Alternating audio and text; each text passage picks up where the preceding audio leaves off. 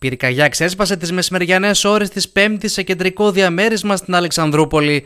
Όπως αναφέρει το focus στο Euro.gr, πριν τις 2 το μεσημέρι, οχήματα της πυροσβεστικής κλήθηκαν για την κατάσβεση σε πυρκαγιά που ξέσπασε στον πρώτο όροφο κτηρίου στην οδό Εμπορίου 35. Σύμφωνα με τις πληροφορίες, η πυρκαγιά εκδηλώθηκε στο χώρο της κουζίνας για άγνωστους μέχρι στιγμής λόγους.